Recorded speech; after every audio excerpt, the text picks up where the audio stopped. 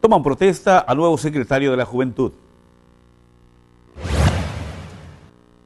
Apoya la SCT reconstrucción de Acuña con programa de empleo temporal. Se mantiene potencial de lluvias muy fuertes en Chiapas. Manuel Velasco Cuello entregó becas a jóvenes universitarios. ¿Qué tal? Muy buenos días, un placer saludarlos. Hoy es lunes primero de junio del 2015. El que entró de panzazo fue el campeón del fútbol mexicano, el equipo de Santos. Perdió en el partido de vuelta tres goles a cero y en el global fueron cinco goles a tres, que por cierto, por poquito, y ya me lo andaban espantando a los de Torreón, porque en el primer tiempo hubo la oportunidad para hacer cuando menos unos cuatro del equipo local del Querétaro. Sin embargo, no logró quitarse la maldición del sexto lugar y el Santos. Si bajó, se imagina usted, en el último partido eh, de, digamos, del torneo regular, va de visitante al Veracruz y le gana dos goles a uno y así entra como octavo de la tabla el Santos. Y mire usted, es el campeón, no hay quinto malo, cinco títulos para el equipo de la comarca lagunera. Y por cierto, dice eh, Pedro Caixinha, el técnico del Santos, jugador mexicano no está acostumbrado a pensar, dice, no piensan los, mexicanos. Y ya vieron usted eh, en los periódicos y medios deportivos, todo, todo relacionado al triunfo del Santos. Bueno, y allá en España, en la Copa del Rey, también el equipo del Barcelona se coronó tres goles a uno, le ganó al, Atlet, al Athletic. Todo el estadio eh, estuvo abucheando el himno de España en presencia del rey. ¿Se imagina usted este tipo de protesta de los españoles abucheando su propio himno? Y estaban extrañados los jugadores de ambos equipos eh, antes del inicio del partido y esta podría ser, digamos, la parte oscura de este partido. Y ahora el próximo sábado va a ir eh, el equipo del Barcelona por la Champions ante la Juventus allá en Alemania va a ser eh, la final a ver qué tal le va en Berlín, Alemania, es cierto. Y está confirmado también, ya es un hecho, eh, Ricardo Lavolpe es el nuevo técnico del equipo Jaguares de Chiapas en sustitución de Sergio Bueno, que dicen que se va como director técnico del equipo Cruz Azul. También Rubén Omar Romano ya fue presentado como nuevo técnico del equipo de los Choros de Tijuana. Y Gustavo Matosas ya es el nuevo técnico del Atlas. Así andan eh, pues los equipos de, de fútbol eh, cuyos equipos prácticamente no llegaron, fueron corridos algunos y fueron contratados otros. Aparte falta el draft de las piernas, como le llaman, compraventa de piernas, y siempre es en Cancún. El América ya tiene sus dos jugadores vistos, uno de él ya está casi, eh, Güemes ya casi es americanista, de los Cholos, así que vamos a ver qué tal eh, le va a mis águilas esta temporada y a los demás equipos, desde luego, las chivas que pasaron, mi querido Javier, eh, en buen lugar resulta que no, jamás hicieron nada, ya les quitaron a, se regresó al Monterrey eh, este jugador, este, ¿cómo se llama en Germando? Ese jugador del Monterrey que se lo prestaron a las Chivas y ahora va de regreso a Monterrey, Aldo de Nigris, como que no, como que no se acostumbra al calor tapatío y lo regresaron a Monterrey, ojalá sí le vaya mejor al equipo de los Rayados del Monterrey. Iber, buenos días. Muy buenos días. Estoy viendo que ya el sistema es así, ¿no? Ya ahora los jugadores andan de equipo en equipo como los políticos de partido en partido. Pero, pero este, lo peor es que son prestaditos. Sí. ¿No? Digo, menos mal fuera a, compra, pues, como el chicharito que lo traen. Ahora sí que. Por cierto, hoy es su cumpleaños, ¿no? El del chicharito, 27 años. Lo vi hace ratito en sus redes, entonces yo creo que sí. Felicidades al Chicharito. Ahí, ahí lo anda en el Instagram, sí. no, yo no, yo soy americanista. yo paso. Bueno, hoy también es Día de la Marina, primero de junio. Va a haber eventos allá en Puerto Chiapas. Los tres poderes del Estado van a estar presentes para rendirle homenaje a la Secretaría de Marina y sus elementos, que pues agradecemos la labor social que realizan, sobre todo en cuestiones climatológicas, ¿no? Y Sobre que se presentan precisamente en gran parte del estado de Chiapas. Así que eh, los tres poderes del estado se van a trasladar a, Puerto Chiapas para estar ahí. Es bonito esto de, del Día de la Marina. ¿eh? sí, te vas ahí en, este, en los este, barcos patrulla de la Marina Altamar al homenaje le van a tirar las coronas de flores a los marinos. Los caídos, sí. Eh, fallecidos, después regresan y viene el, acto protocolario de los discursos y todo ese rollo, y después a comer riquísimo. unos camaroncitos y unos mariscos. Es riquísimo todo eso, ¿no? Así se vive. Bueno, pues así iniciamos el sexto mes de este 2015. Oye, espérame, se me está olvidando algo. Como, como no fue bueno el partido, Mira, dicen, dicen, ah, dicen, los expertos, mi respeto para los expertos este, en materia deportiva, sobre todo en fútbol, nosotros somos aficionados, pero dicen, jugó muy bien México, y otros dicen, jugó a medio gas. Si con esa selección vamos a la Copa América, estamos perdidos. ¿eh? Digo, el, fútbol guatemalteco es de muy bajo nivel comparado con el, con el nuestro, y es para que le hubieran metido cuando menos unos siete goles. Sí. Digo, le ganan 3 a 0, bueno, cumplieron su papel, pero no se ve todavía muy bien conjuntada la selección mexicana, ¿no? Sí, le falta. Así que, digo, mi particular punto de vista como aficionado, si con esa selección vamos a ir a la Copa América estamos mal, pero bueno, ganó 3 a 0 aquí. Un saborcito, buen sabor de boca. pues. los, eh, los guatemaltecos han de haber jugado, agarrar algunos jugadores de esos llaneros, ¿no? Para jugarse. Sí. Eduardo Herrera metió dos goles y uno el Tecatito Corona, eh, que este, Víctor, Víctor Manuel Bucetich estaban diciendo los comentaristas que le puso el Tecatito, porque este, por el apellido, ¿no? Corona, y es la marca contraria a la, cerveza que patrocina eh, o patrocinaba al equipo, al equipo Monterrey, entonces él le puso el sobrenombre El Tecatito, para llevarle la contraria a la corona. ¿no? Entonces, eh, metió su, gol, su golecito a pase de Raúl Jiménez, que también quiso hacer el suyo, pero no pudo. Así que vamos a ver qué, qué pasa con esta selección. Espero que logren conjuntarse más. Digo, como los agarran así de que, a ver, vente tú y algunos de última hora eh, entran a selección, eh, no han jugado mucho tiempo juntos, entonces les falta conjuntarse más. Y espero eh, van a jugar el, miércoles en Perú, el miércoles, este miércoles ya, pasado mañana, y el domingo van a jugar contra Brasil. Así que vamos a ver. Y de Brasil ya se, ya se van a Chile para, para la Copa América. ¿no? otro nivel de fútbol, a ver qué tal. Qué tal son dos selecciones, no puedes pedirle eh, llevar a, las dos, ¿no? Sí. Jugó el Cata Domínguez eh, de Arriaga Chiapas, también muy buen partido del, del Cata. Así que, ¿qué tal? Sí, pero pues, no lo traen a, Jaguares, hombre, Bueno, no, no va a querer venir a Jaguares, está en Cruz Azul, ¿no? Exacto. Digo, en, vez de ir para adelante, para atrás, pero, pero bueno, es más, yo creo que ni un chapaneco hay en Jaguares de Chiapas. Eh, nos prometieron en la corrupta, corrupta administración gubernamental anterior que iban a hacer un semillero de, todo el estado, una escuela de, de futbolistas chapanecos para surtirle al primer equipo, pero no, más no.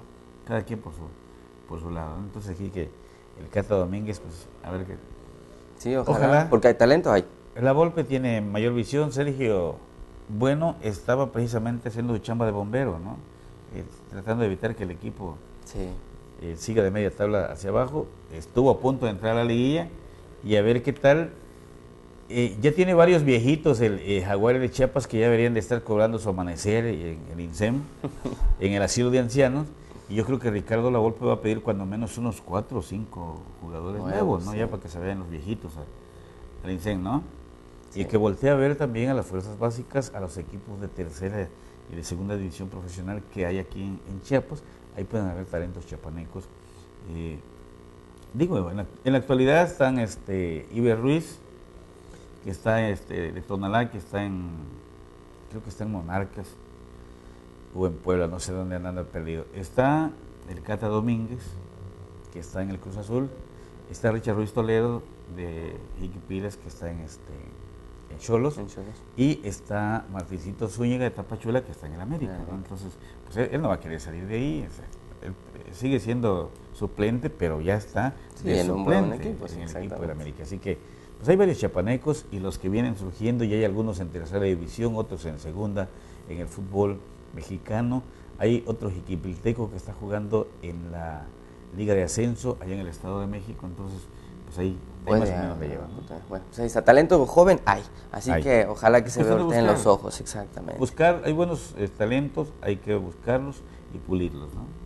Exacto, para destacar a los jóvenes en el deporte, que esa es una de las prioridades, de hecho, de este gobierno. Bueno, vamos a la información. Eh, fíjense que continúan los daños forestales, sobre todo a pesar de las temporadas de lluvias.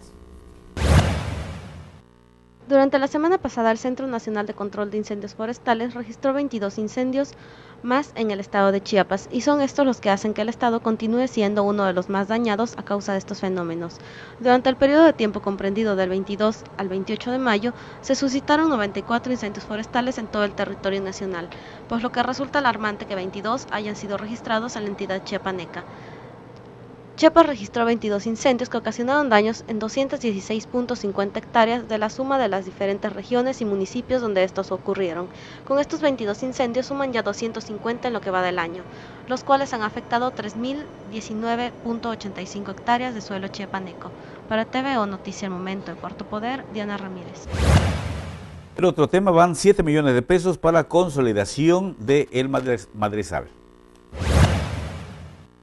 La Subsecretaría de Innovación y Desarrollo Turístico de la Dependencia Federal de Turismo, Sectur, dio a conocer la transferencia de 7 millones de pesos para la consolidación del centro turístico El Madresal, ubicado en el municipio de Tonalá, contemplando una primera etapa. Según la Sectur, los recursos otorgados por la consolidación de este centro turístico es a través del Programa para el Desarrollo Regional Turístico Sustentable del ejercicio fiscal 2015 fue uno de los cuatro proyectos en donde se contempla ejecutar infraestructura turística para el desarrollo de ese sector en localidades de vocación turística. El Madresal es un destino ecoturístico, espacio para el visitante que gusta de la conservación. Según datos de la Sectur, fue iniciado por una comunidad de pescadores en las cercanías de Tonalá, Chiapas, a unos kilómetros de Puerto Arista y Boca del Cielo, destinos de playa. Actualmente cuenta con cabañas ecológicas, ofrece servicios turísticos de playa, estero natural y zona de pesca, así como un restaurante que ofrece gastronomía chiapaneca. Al ser certificado como empresa de calidad turística y con el distintivo M Moderniza, por cumplir normas de calidad en sus servicios, el proyecto de consolidación de El Madresal fue aprobado por la Subsecretaría de Innovación y Desarrollo Turístico. Asimismo, autorizó el subsidio para este año. El Madresar se integró en el 2008 y desde ese año no había sido contemplado para recibir apoyos que incrementaran su calidad turística. La misión de ese centro ecoturístico es contribuir en el desarrollo del sector, utilizando energías limpias, coordinando actividades mediante el sistema de gestión de calidad para asegurar la plena satisfacción de los visitantes y la conservación de los humedales en esa región. Para TVO Noticias Momento de Cuarto Poder, Daniel Aguilar. Bueno, y en otra información, la Iglesia también exhorta a los votantes, los convoca a participar libremente en los comicios. A unos días del proceso electoral federal, la Arquidiócesis de Tuxtla Gutiérrez convocó a la población a participar con su voto libre y razonado, nunca condicionado. Recordó que las elecciones deben ser de esperanza para todos los que buscan un cambio, Fabio Martínez Castilla, arzobispo de la capital chiapaneca, comentó que con la participación de todos se puede construir el país que se quiere, donde haya paz y progreso para todos. Hizo mención del mensaje que dieran los obispos de México con respecto a las elecciones, en donde invitaron a conocer quiénes son y qué proponen los candidatos, tienen principios y los sostienen, garantizan que trabajarán para construir el tejido social en un país dañado por la violencia, la corrupción, la impunidad, el narcotráfico y la pobreza, respetarán la vida, dignidad y derechos de la persona, actuarán con transparencia y honestidad, velarán por la justicia, ¿Qué proponen para crear fuentes de trabajo y erradicar las causas de la pobreza? ¿O seguirán teniendo a los pobres como clientela electoral? Participemos, dijo, unámonos y organicemos para exigir como ciudadanos el cumplimiento de las promesas de campaña de quienes resulten ganadores. Abstenernos no conduce a nada. Fabio Martínez exhortó a todas las autoridades a garantizar que el derecho a votar y ser votado se ejerza libre, plena y pacíficamente en todo el territorio nacional. Asimismo, a los partidos y candidatos, dijo, la solicitud es que a quienes resulten ganadores no defrauden la confianza y esperanza de los mexicanos.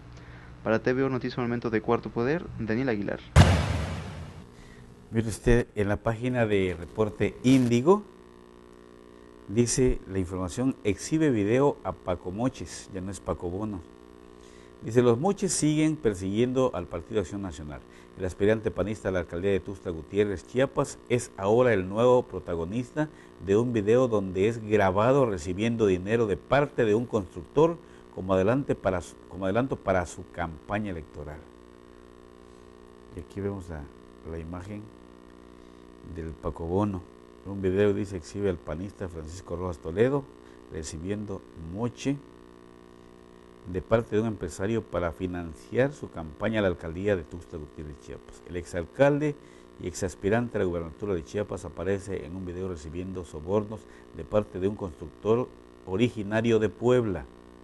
La grabación en poder de Reporte Índigo capta a Rojas Toledo aceptando al menos una docena de fajos de billetes que son acomodados en una caja de zapatos. La calidad de las imágenes no permiten definir la cantidad de dinero recibido por el político panista que hoy aspira nuevamente a gobernar la ciudad de Tuxtla Gutiérrez.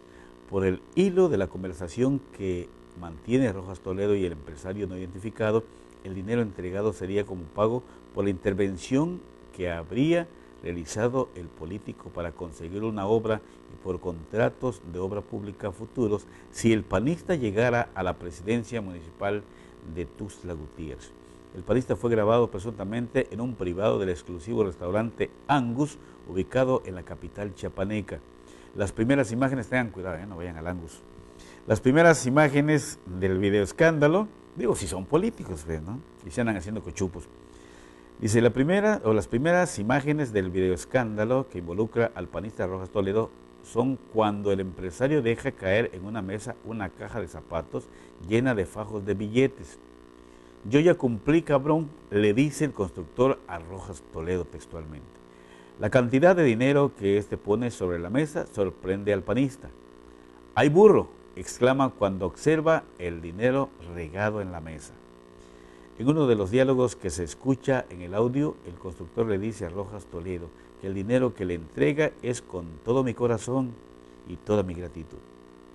El varo es el que manda aquí, le aclara el empresario. Este varo ahora sí que es con todo mi corazón, toda mi gratitud. Lo que yo quiero decir es que estoy muy agradecido contigo. Trabajemos, vamos al moche. En Chiapas Rojas Toledo es conocido como Paco Bono, por la compensación económica que se autorizó cuando se desempeñó como alcalde de la capital chiapaneca. Ha sido diputado federal por el PAN, titular de la Sol en Chiapas y actualmente también fue corrido. ¿eh? Actualmente es uno de los aspirantes a la alcaldía de Tuxtla Gutiérrez. De acuerdo a información que se ha publicado, Rojas Toledo sería postulado por el PAN en alianza con el PRD en las elecciones programadas para el 19 de julio de este año. En la grabación se escucha cuando el constructor le dice al panista que está muy agradecido con su intervención en el proceso para conseguir contratos de obra pública. No tienes que agradecer, responde Rojas Toledo y le ofrece, yo soy el que te dará, el que te daré o te dará más obras. En un momento Rojas Toledo deja ver cierta incomodidad, dice, por la entrega de los fajos de dinero en ese sitio, pues sí si ya lo exhibieron públicamente, se me hace que con esa intención lo hicieron. Hay que tener cuidado con el dinero, le aconseja Rojas Toledo al empresario. No me puedes dar el paquete directazo. El empresario le interrumpe. Ahorita ya ni la jefa nos hizo. Son un guardia, le dice, para esto le contesta el paneta. Pues Clarín le responde el político.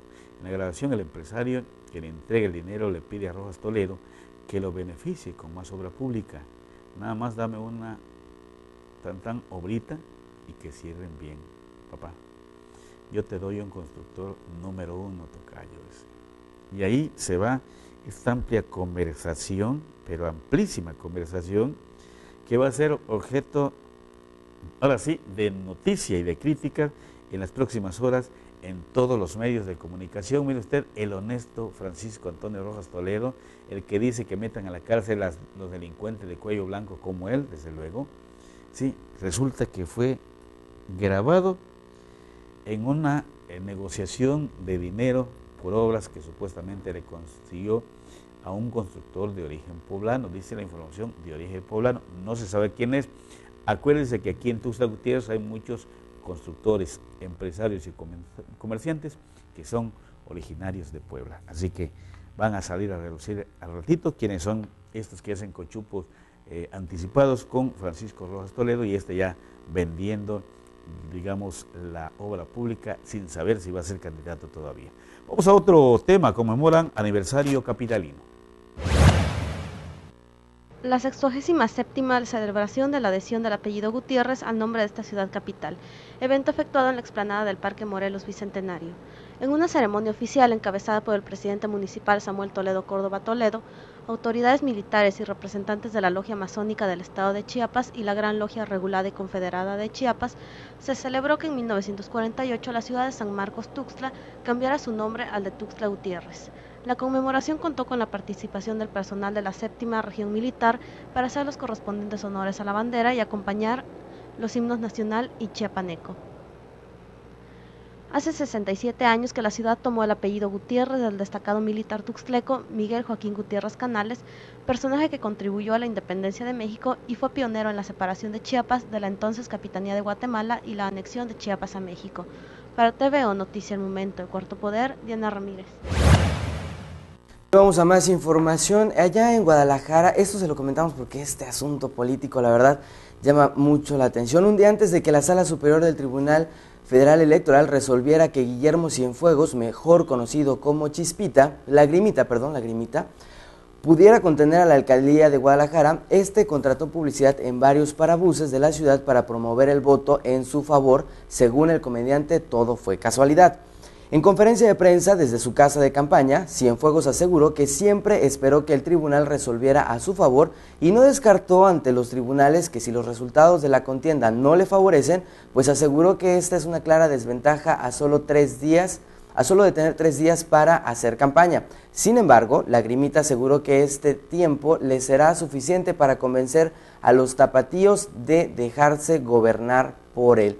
Clara, la, esta clara decisión, que aquí viene lo interesante, que tomó la Sala Superior del Tribunal Electoral del Poder Judicial de la Federación para incluir en la boleta de Guadalajara a Cienfuegos, costará 2.5 millones de pesos, estimó el Instituto Electoral y de Participación Ciudadana, que tendrá que reimprimir 1.278.000 papeletas. El consejero presidente del IEPC, Guillermo Alcaraz Cross, dijo que además de la reimpresión de boletas, cuyo costo es de un peso con 67 centavos cada una, deben rehacer las actas para el escrutinio y cómputo final de los votos. Aunque el reparto de boletas a los consejeros, a los consejos distritales ya inició en Guadalajara, también se trasladará este proceso, por lo que el INE, se retrasará este proceso, por lo que el INE y el IEPC analizan cómo resolver esta situación para distribuir todo el material electoral completo en tiempo, informa a más tardar el próximo jueves. Por una decisión, vea lo que se están gastando alrededor de 2 millones, 2.5 millones de pesos para reimpresión de boletas para poder incluir a este candidato Lagrimita. Oye, pero es que el problema, el problema radica en que se toman atribuciones sin esperar que el afectado, en este caso Lagrimita, recurra para hacer uso de derecho ante los tribunales electorales este, del país. Entonces, lo dejan fuera, dice, bueno, ya decidimos que quede fuera, se va a los tribunales y dice, no, el señor tiene derecho, así que para hacer todo. Y ese gasto lo tiene que hacer el Instituto de Elecciones del Estado de Jalisco, ¿no? Sí. Donde es candidato a la alcaldía de Guadalajara. Así es, de Guadalajara. ¿Dice por qué partido? Eh, no, no exactamente. Un candidato ciudadano. Sí, creo que es independiente. Ah. Independiente. Bueno, es que eh, la Constitución es clara y dice el derecho a votar y ser votado. Porque Exacto. el ciudadano en este país, siempre y cuando reúna los requisitos que establece la ley electoral. No importa si es payaso, eh, payaso es... eh, De es, profesión. un, es un cantante vestido de payaso, Sí, ¿no? Le hace todo. Y hay otro payaso que anda en Querétaro, que también. fue futbolista, ¿no? También. Que anda, anda, por, por cierto, al, al PAN y al PRI los anda criticando. Dice que le ofrecieron este sobornos para renunciar a la candidatura del Cuauhtémoc Blanco. Pero bueno, digo, hay de todo. Hay, hay actores, hay este, deportistas, hay eh, artistas. Alejandro Camacho, por ejemplo, por el Partido Humanista, va que exactamente. vuela para ser este diputado federal. ¿eh? Sí. está en, en las primeras listas de los plurinominales. Dicen que es un partido de Televisa, que hay muchos artistas metidos en este rollo. ¿Te imaginas que Televisa tenga sus propios Su diputados federales? Digo, Híjole, su bancada. siempre han colaborado en poner este eh, candidatos, Candidatos, candidatos, ¿no? Pero ahora ya quieren poner sus propios candidatos a través de su partido. ¿Verdad o mentira? Pero digo, esos son los Todo comentarios. puede ¿no? pasar, sí. Bueno, pues ahí está esta información. Mientras tanto, vamos a otro tema, el valor agregado de la agroindustria mediante plataformas logísticas.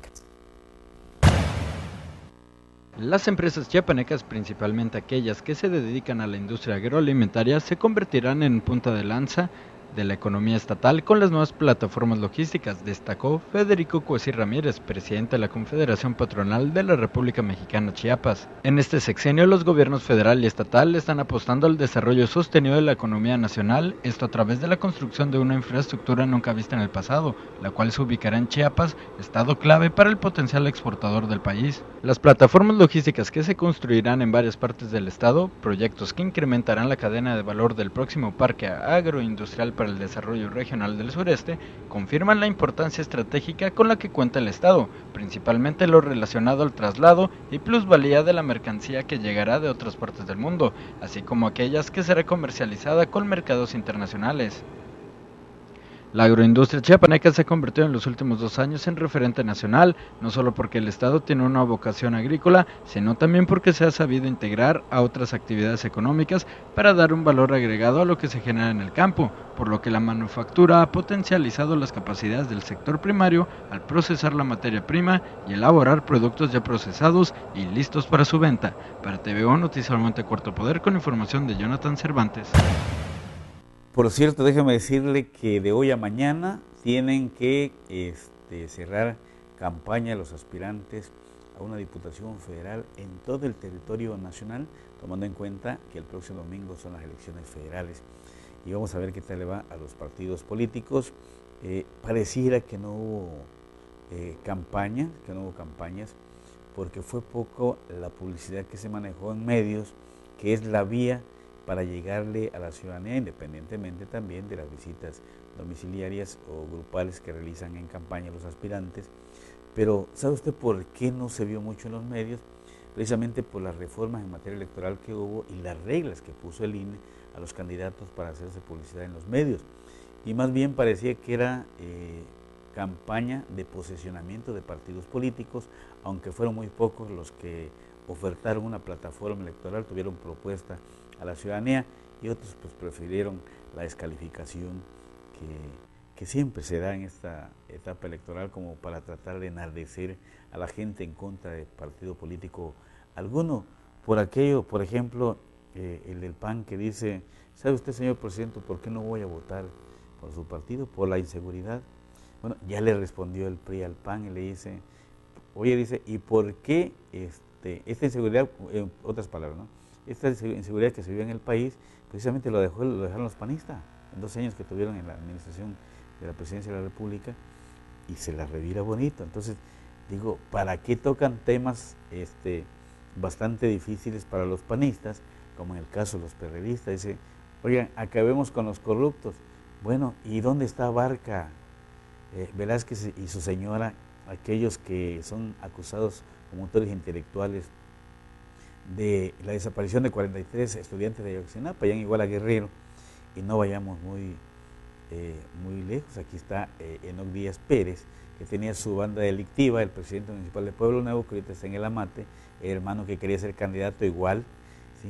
digo, ¿para qué tocan temas tan escabrosos? El que tenga corta la cola, que hable en política, y el que no, que se quede callado, porque todos, todos tienen un poquito de cola que les pise. ¿Vamos la foto? A ver. Está Paco Moches en acción, dice. Ahí vemos la, las imágenes de donde aparece recibiendo fajos de billete eh, de un empresario de origen poblano, dice reporte índigo. Y digo, todavía no es candidato del PAN a la presidencia municipal. Se le viene encima, acuérdese lo que le estoy diciendo, a partir de esto, se le viene encima una serie de cuestiones de críticas prácticamente que no lo van a dejar en paz y sabe que el PAN no le va a dar la candidatura con esto. ¿eh? Primero tiene que aclarar él de este negocio, de estos cochupos que está haciendo y sobre todo en un lugar público se lo llevaron, le pusieron la camarita escondida o quién sabe cómo funciona esto, pero un restaurante de prestigio debe ser cámara de seguridad del propio restaurante y sería una falta de respeto para cualquier ciudadano que vaya a este lugar este tipo de cámaras. Eh, ¿Por qué? Porque si es cámara del restaurante, los mismos encargados o propietarios del restaurante hicieron pública, público estos videos y créame que puede ser sujeto a una demanda penal también, ¿eh? la verdad. Pero este escándalo ya no se lo quita Paco Rojas y así que está en veremos la posibilidad de ser candidato del PRD PAN a la presidencia de Tuxtla Gutiérrez, el que camina por las calles con la frente levantada porque no le debe ni le teme a nadie, así lo dijo.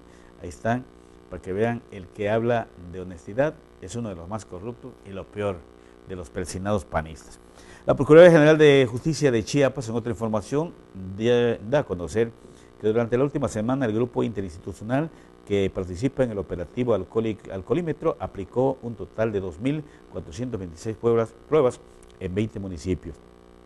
La dependencia informó que del total de pruebas aplicadas, 36 personas resultaron con aliento alcohólico aptos para conducir y, 30 y, y 14 más con aliento alcohólico no apto para conducir, por lo que designaron a un conductor responsable, llamaron a un familiar o hicieron uso de un taxi seguro, aunque ya no están tan seguros mientras que 12 conductores fueron consignados ante el Ministerio Público luego de resultar con más de 80 grados de alcohol en la sangre, lo que confirmó que conducían en estado de ebriedad. La Procuraduría de Chiapas exhortó a los jóvenes y adultos a no conducir bajo los efectos del alcohol y recordó que los daños causados por esta sustancia van desde afectaciones a la salud, al entorno social y laboral. Así que el chupómetro le fue aplicado a 2.426 personas en 20 municipios del estado. Y en otro tema, histórico 100% de cumplimiento en declaración patrimonial. Por primera vez en la historia de la Administración Pública Estatal, en este año se logró el 100% en el cumplimiento de la Declaración Anual de Modificación Patrimonial, por lo que Chiapas sigue siendo referente en transparencia a nivel nacional, destacó Miguel Agustín López Camacho, titular de la Secretaría de la Función Pública del Estado.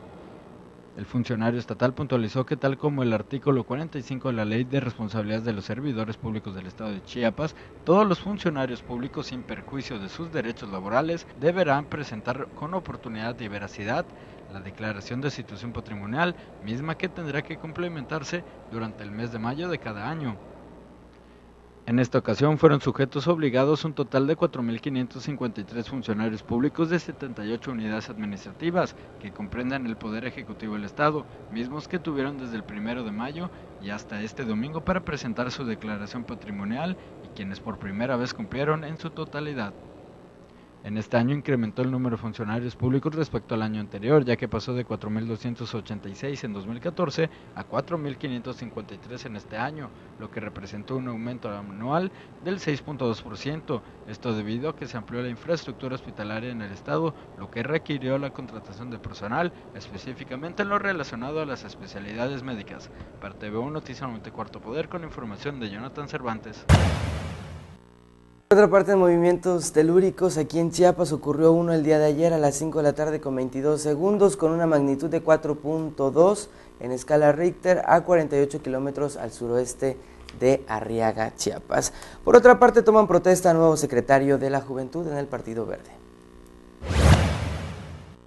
El presidente del Comité Directivo Estatal del Partido Verde Ecologista de México, Eduardo Ramírez Aguilar, tomó protesta ayer por la tarde a Gustavo Cervantes González como nuevo secretario de la Juventud de este partido político a nivel municipal, convirtiéndose en un líder juvenil más joven del Estado.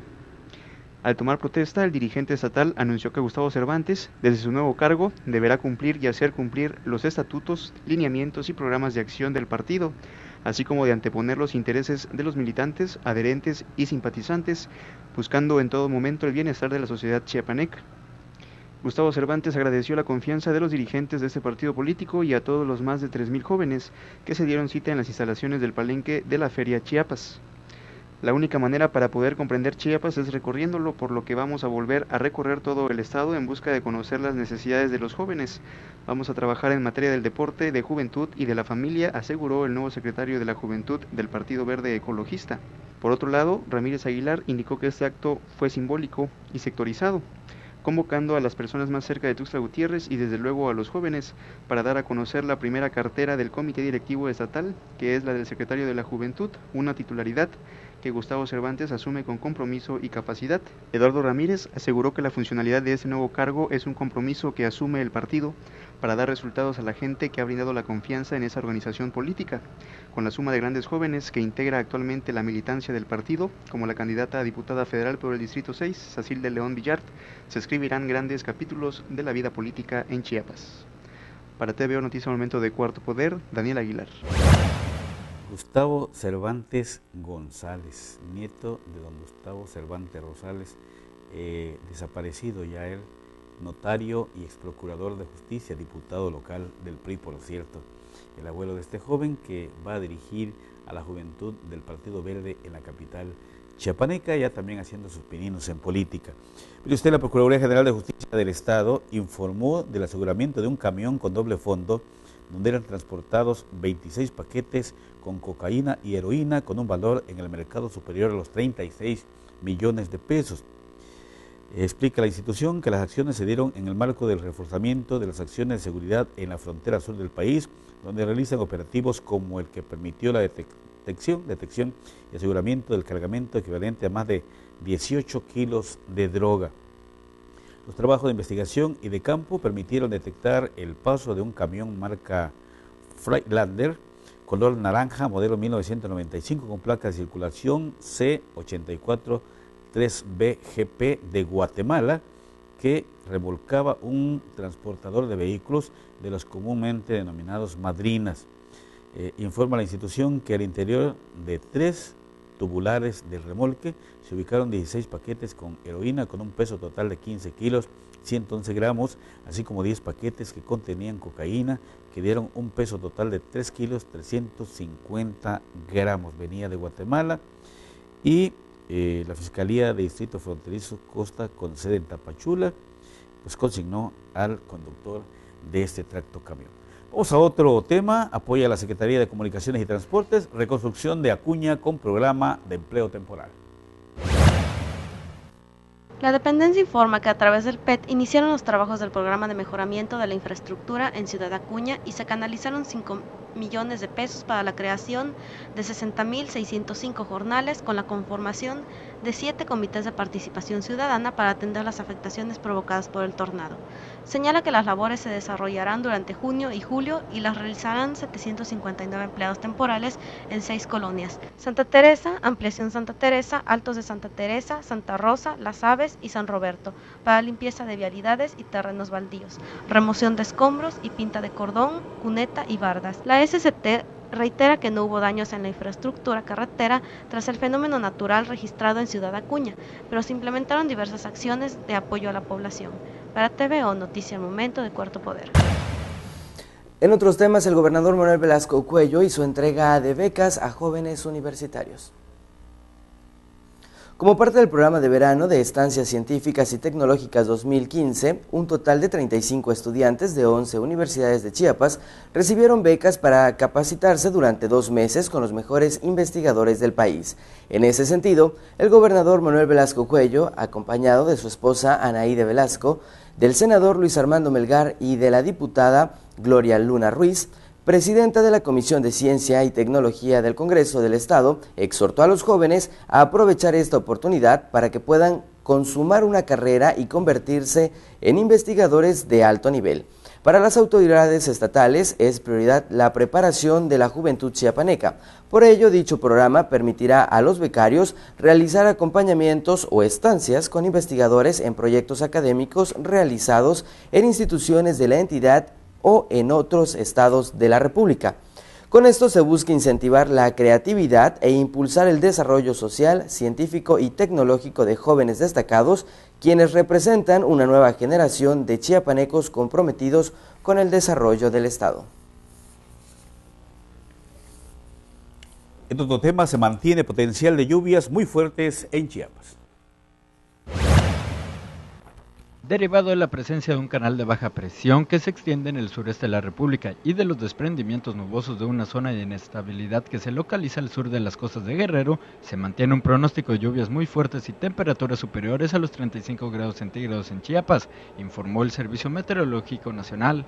El organismo de la Comisión Nacional del Agua, CONAGUA, reveló que este canal de baja presión se ubica extendido desde el Golfo de México hasta el Océano Pacífico, abarcando los estados de Tabasco y Oaxaca, incrementando el potencial de lluvias en los estados del sureste mexicano. Por otra parte, la zona de inestabilidad, que según los últimos reportes del Meteorológico Nacional se localizó a más de 600 kilómetros al sur-suroeste del puerto de Acapulco, Guerrero, mantuvo hasta la tarde de este domingo un 70% de probabilidades de consolidarse como ciclón tropical en las próximas 48 horas y 90% de probabilidades en un pronóstico a 5 días. De acuerdo a los modelos de pronóstico, el canal de baja presión y los desprendimientos nubosos de la zona de inestabilidad favorecerán lluvias muy fuertes de 50 a 75 milímetros en los estados de Chiapas, Veracruz y Oaxaca y fuertes de entre 25 y 50 milímetros en Tabasco. Para TVO Noticias Cuarto Poder con la información de Jonathan Cervantes. Pues, pues hablando del mismo tema, mire usted, Chiapas amanece hoy en todas sus regiones en azul y verde en cuestiones climatológicas, la parte de azul nos indica lluvias fuertes de 0.1 a 50 milímetros en las regiones Valle Soque, Metropolitana, Alto Social Celtal, Meseta Comiteca, de los Llanos, Frailesca, Costa, Sierra Mariscal y el Soconusco. Mientras que la parte que aparece en verde nos indica lluvias muy fuertes de 50 a 75 milímetros, esto en las regiones norte, Mezcalapa, de los bosques, Torijas, el Talchol, Maya y la selva Lacandona. Aporte de humedades del Pacífico mantienen condiciones de cielo mayormente nublado con potencial para lluvias y chubascos acompañados de tormentas eléctricas sobre la región chiapaneca. Y como siempre, lo invitamos a que abrigue a los niños, a las madres embarazadas y personas de la tercera edad por aquello de los cambios climatológicos en el estado. Sí, sobre todo vitaminarlos para que no tengan bajas las defensas. Como mucho limón. Mucho limón, mucho En los ejidos hay mucho limón, ¿no? Sí, sí, sí, Casi no hay naranja, pero si hay toronja y hay limón, ¿no? Sí, en lugar de su refresco de cola, una limonadita bien fría. Es carito, en los en el campo no lo conocen, pero en las cabeceras municipales sí, el kiwi también. El kiwi también. Buenísimo para... Y, y, además es muy rico, ¿no? Sí. Sabrosísimo. Su limoncito, ¿eh? Chupar su limoncito. Sí. Su, su, limón con sal, eso ya es otra cosa. Eso ya son otras, para otras protecciones, ¿no? Por cierto que hablando de limón y sal y tequilita, ayer en San Cristóbal me encontré colegas que ya tenía tiempo que no veía, a Freddy López Arevalo. Eh, ellos son nativos de Yajalón, López Arevalo, que han sido corresponsales de prensa nacional y estatal, radicado en San Cristóbal de las Casas hace muchos años.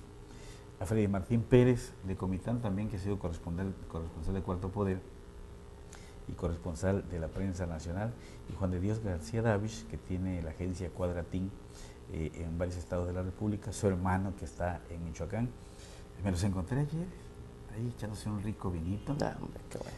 este, los tres años, años de no ver a los colegas, ya estamos un poco viejones, ¿no? Ya traqueteadones, eh, pero me dio mucho gusto saludarlos y platicar un momento con ellos, pues porque además ya eh, me, me dijeron todavía, oye, qué viejo estás, ¿Cuántos años tienes? 50 años. 50.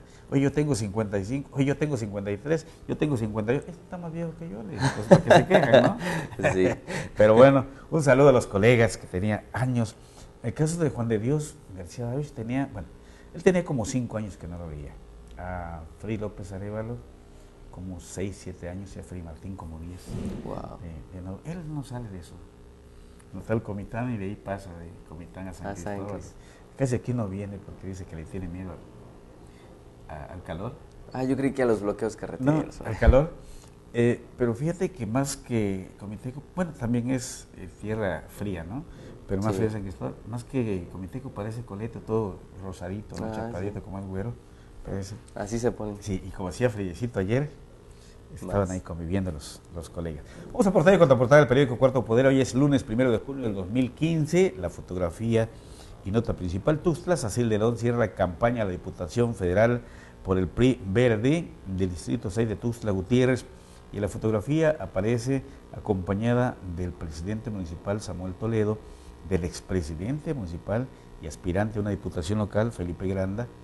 Está también Manuel Sobrino, que es aspirante también a una diputación local. Carlos Penago, eh, Penagos Vargas, también aspirante a una diputación. Yo no sé por qué todos le tiran al poniente. ¿eh? Todos quieren ir por el poniente, le tienen miedo al oriente. Quién sabe por qué, pero no sé si salgan a votar más los de clase media alta del poniente, ¿no? Pero todos le tiran por allá, acompañados también del dirigente estatal del Partido Verde, Eduardo Ramírez Aguilar. Campaña intensiva para combate a la mosca, con la liberación de 400 millones de moscas estériles semanales en siete municipios de la región Soconusco y Frontera Sur. Se emprenden en este año acciones de sanidad, dejan de utilizar miles de toneladas y litros de agroquímicos. En materia de turismo, autorizan 7 millones de pesos para consolidar Madresal.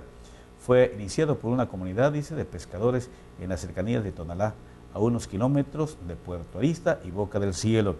En materia educativa, el gobernador Manuel Velasco Cuello entregó becas a jóvenes universitarios. En marcha, Proyecto Conmujú es una de las UMAS y en la contraportada, el equipo del Santos que gana en el global al Querétaro, 5 goles a 3, es el nuevo campeón del clausura 2015. Los guerreros levantan su quinto título de liga a pesar de perder 3 a 0 ante los gallos que ilusionaron a su afición al, al anotar los tres tantos en el primer tiempo en materia de seguridad detenido por robo de autos. Cuatro personas fueron detenidas en operativos para combatir el robo de vehículos en San Andrés Larrainzar, Villaflores, Tuxtla y Tapachula. En materia de béisbol, Guacamayas logran amarrar la serie 10 ante Sábalos. En Comitán Meriusel, otro taxista cantonero, un hombre fue detenido luego de irrumpir en una vivienda del barrio San Vicente como que se quería robar el rotoplas, que no cabe ni en el taxi. Es más grande el rotoplas que el taxi, pero se quería robar el, rotoplas y llevarlo a bordo del taxi.